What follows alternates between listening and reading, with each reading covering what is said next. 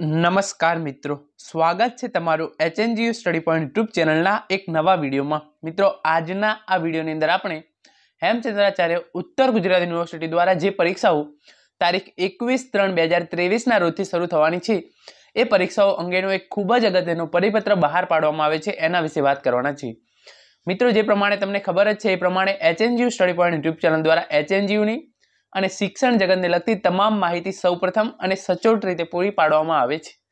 ભવિષ્યમાં પણ આવી તમામ માહિતી મેળવવા માટે એચએનજીયુ સ્ટડી પોઈન્ટ યુટ્યુબ ચેનલને જરૂરથી સબસ્ક્રાઇબ કરી લેજો. મિત્રો HNGU study point YouTube channel દ્વારા હવે જે પણ પરીક્ષાઓ આવી રહી છે એ તમામ પરીક્ષાઓ માટેના આઈએમપી ક્વેશ્ચન્સ એની પેપર સ્ટાઇલ અને એના ઓલ્ડ પેપર કઈ રીતે મેળવવા એ અંગેના ડિટેલ્ડ વીડિયો બનાવવામાં આવેલા છે. અમુક વીડિયો બનાવી દીધા છે અને અમુક વીડિયો પર કામ ચાલી રહ્યું છે એટલે કે ટૂંક સમયની અંદર જ તમામે તમામ વીડિયો ચેનલ પર મૂકી દેવામાં આવશે. તો એ તમામ માહિતી માટે પણ તમે એચએનજીયુ સ્ટડી પોઈન્ટ યુટ્યુબ ચેનલને જરૂરથી સબસ્ક્રાઇબ કરી લેજો. જે વિદ્યાર્થી મિત્રોને હજુ સુધી ડિજિટલ ગુજરાત સ્કોલરશિપ ના આવી હોય, એ વિદ્યાર્થીઓની સ્કોલરશિપ ક્યારે આવશે? એ અંગેનો એક ડિટેલ્ડ વીડિયો પણ બનાવેલો છે, જેની લિંક પણ નીચે ડિસ્ક્રિપ્શનની અંદર આપવામાં આવેલી છે. તમે એ વીડિયો ચોક્કસ જોઈ શકો છો. તો હવે શરૂ કરીએ આજનો આ વીડિયો અને યુનિવર્સિટી દ્વારા જે આજે નવો પરિપત્ર બહાર પાડવામાં આવે છે, એના વિશે વાત કરીએ તો તમે વાંચી શકો છો એ પ્રમાણે આ જે પરિપત્ર છે એનો વિષય છે. માર્ચ બે હજાર ત્રેવીસના ગાળામાં લેવાનાર વિવિધ વિદ્યાશાખાની મેડિકલ તથા અન્ય પરીક્ષાઓના આવેદનપત્રો સ્વીકારવા અંગે. એટલે કે યુનિવર્સિટી દ્વારા જે પરીક્ષાઓ માર્ચ બે હજાર ત્રેવીસના ગાળામાં લેવાનાર છે, એના તમામે તમામ પરીક્ષાઓના આવેદનપત્રો સ્વીકારવા અંગે અને એના રિલેટેડ જે પણ જરૂરી સૂચનાઓ છે એ આ પરિપત્રની અંદર આપવામાં આવેલી છે. અહીં આપણને ઇન્ફોર્મેશન આપવામાં આવેલી છે. જે અમુક સૂચનાઓ છે એ કોલેજોને લાગુ પડે છે અને અમુક સૂચનાઓ છે એ વિદ્યાર્થીઓ માટે છે. અહીંયા કેટલીક ઇમ્પોર્ટન્ટ તારીખો આપવામાં આવેલી છે એ આપણે જોઈ લઈએ તો. તો વિદ્યાર્થીઓ દ્વારા જે ફોર્મ ભરવાની છેલ્લી તારીખ છે એ છે બે ત્રણ બે હજાર ત્રેવીસ. એટલે કે વિદ્યાર્થીઓ ચોવીસ બે બે હજાર ત્રેવીસથી બે ત્રણ બે હજાર ત્રેવીસ સુધી એમના ફોર્મ ભરી શકશે.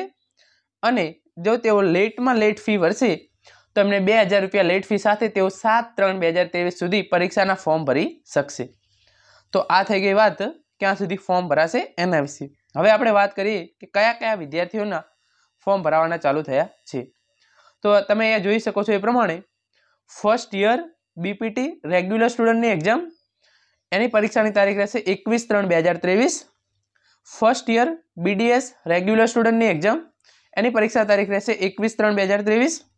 Second semester BSc nursing regular સ્ટુડન્ટની exam પરીક્ષા તારીખ રહેશે એકવીસ ત્રણ બે હજાર ત્રેવીસ.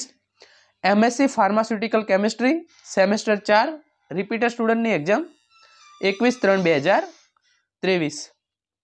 અને અહીંયા વિદ્યાર્થીઓ માટે એક અગત્યની સૂચના આપવામાં આવેલી છે કે, સદર વિદ્યાર્થીઓ પરીક્ષા પાસ કર્યા પછી ડિગ્રી ફોર્મ ભરવા યુનિવર્સિટીમાં રૂબરૂ આવવાનું રહેશે. એટલે કે જે પણ વિદ્યાર્થીઓ છે, જે ઉપરના ચાર કોર્સના એ વિદ્યાર્થીઓ એમની પરીક્ષા પાસ કરી દે, પછી ડિગ્રી ફોર્મ ભરવા માટે એમને યુનિવર્સિટીમાં રૂબરૂ આવવાનું રહેશે.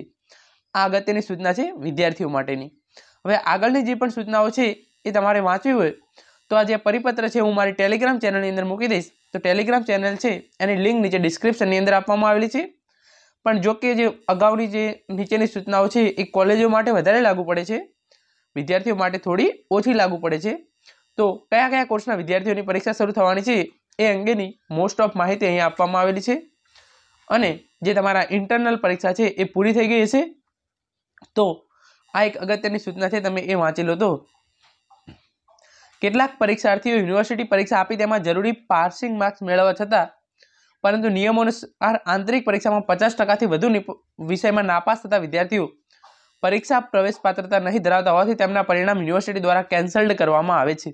એટલે કે જ્યારે તમે રિઝલ્ટ ચેક કરો અને એની અંદર કેન્સલ્ડ લખેલું આવે તો એનું શું મિનિંગ થાય છે એ અહીંયા આપણને વિદ્યાર્થીઓને સમજાવવામાં આવેલું છે.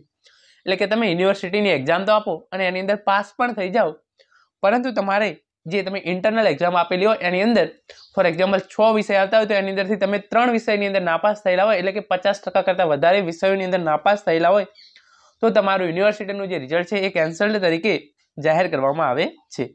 અને આ વિદ્યાર્થીઓને એમનું રિઝલ્ટ સુધારવું હોય તો એમને, એમની ઇન્ટરનલ પરીક્ષા બીજી વાર આપવાની રહેશે અને એના માર્ક્સ યુનિવર્સિટીની અંદર જ્યારે તમારી કોલેજ મોકલી આપે, ત્યારે તમારું પરિણામ યુનિવર્સિટી દ્વારા જાહેર કરવામાં આવે છે. આ થઈ ગઈ વાત આજના આ વિડીયોની અંદર અને બીજી જે પણ માહિતી છે એ આપણે આગળના વિડીયોની અંદર જોઈશું. Thank you thank you so much for watching અને ચેનલને જરૂરથી સબસ્ક્રાઈબ કરજો.